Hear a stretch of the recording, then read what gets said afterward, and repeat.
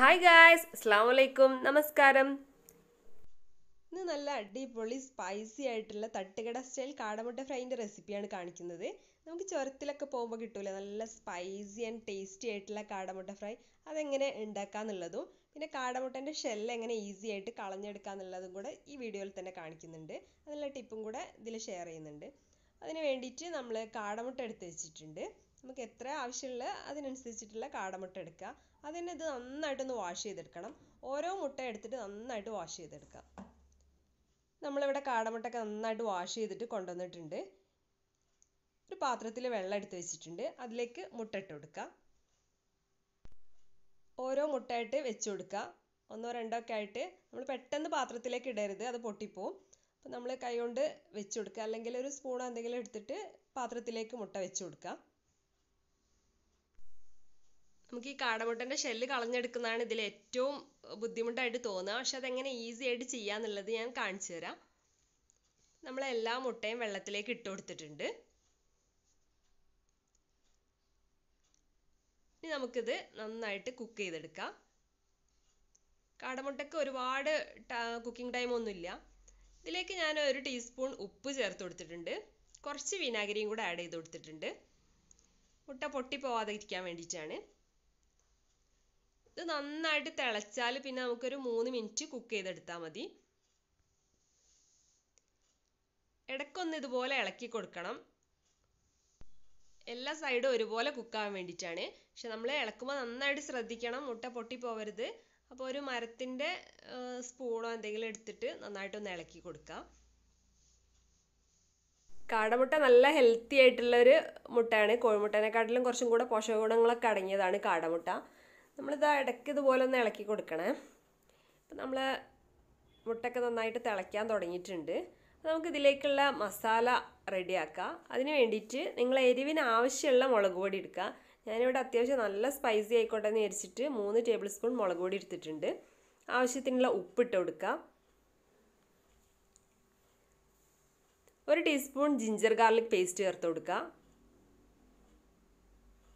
അര ടീസ്പൂൺ ഗരം മസാലപ്പൊടി ചേർത്ത് കൊടുക്കുക. കാൽ ടീസ്പൂൺ ജീരകത്തിന്റെ പൊടിയും കൂടെ ചേർത്ത് കൊടുക്കുക.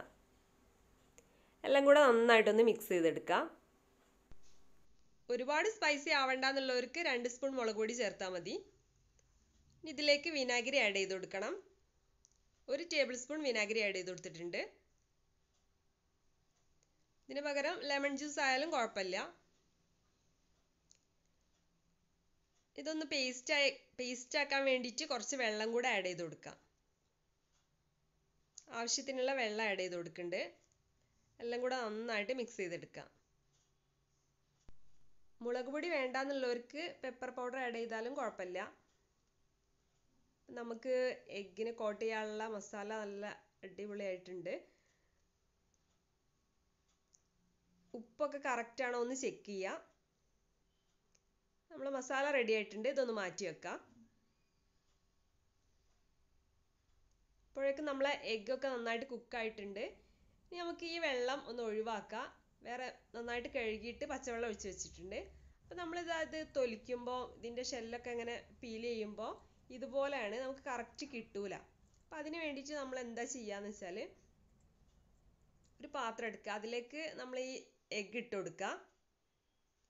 നമ്മൾ ബോയിൽ ചെയ്തിട്ടുള്ള എഗ്ഗ് ഇട്ട് കൊടുക്കുക. അതിലേക്ക് കുറച്ച് വെള്ളം ആഡ് ചെയ്യുക. എന്നിട്ട് അതൊന്ന് കവർ ചെയ്തിട്ട് നന്നായിട്ടൊന്ന് ഷെയ്ക്ക് ചെയ്തെടുക്കുക. ഒരു ഗ്ലാസ്സിലായാലും കുഴപ്പമില്ല. നമ്മൾ ഏത് പാത്രത്തിലാണ് അത് കൊള്ളുന്നത് അതിനനുസരിച്ചിട്ട് ഒരു പാത്രത്തിൽ ഇട്ട് കൊടുക്കുക. ഇനി നമുക്ക് പെട്ടെന്ന് തന്നെ പീൽ ചെയ്തെടുക്കാൻ പറ്റും.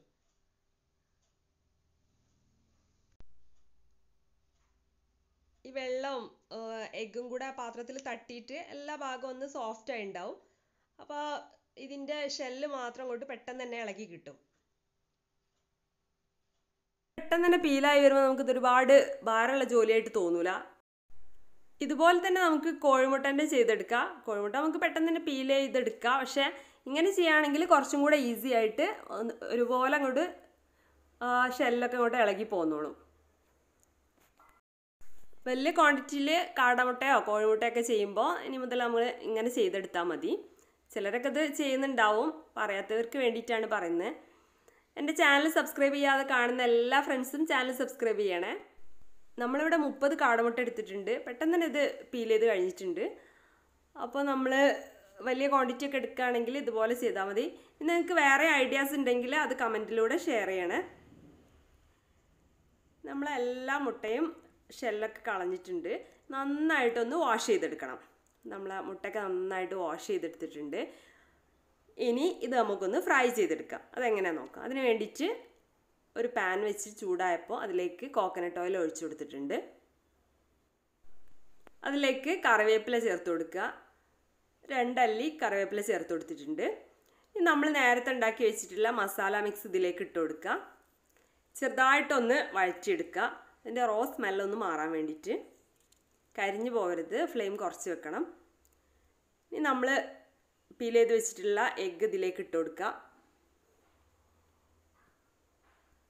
നന്നായിട്ട് മിക്സ് ചെയ്യാം. ഇനി നമുക്ക് ഫ്ലെയിം കൂട്ടി കൊടുക്കാം. നന്നായിട്ടൊന്ന് തിളച്ച് വരുമ്പോൾ ഫ്ലെയിം കുറച്ച് വെച്ചിട്ട് കുറച്ച് ടൈം അങ്ങനെ തന്നെ വെക്കുക. ഈ മസാലയൊക്കെ എഗ്ഗിൽ നന്നായിട്ട് പിടിക്കണം. എന്നിട്ട് ആ റോ ടേസ്റ്റൊക്കെ ഒന്ന് മാറുന്നവരെ നന്നായിട്ടൊന്ന് മിക്സ് ചെയ്ത് കൊടുക്കാം. നമുക്ക് ഇതിൽ നിന്ന് കുറച്ച് വെള്ളം ഉണ്ടാവും. ആ വെള്ളമൊക്കെ ഒന്ന് വറ്റി വരണം.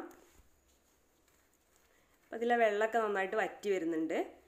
ഇതിലേക്ക് നമുക്ക് കുറച്ചും കൂടെ കറിവേപ്പില ഇട്ട് കൊടുക്കാം. നമ്മളെ ടേസ്റ്റി ആയിട്ടുള്ള കാടമുട്ട ഫ്രൈ റെഡിയാണ്. എല്ലാവരും ട്രൈ ചെയ്ത് നോക്കുക. Thank you for watching. Have a nice day.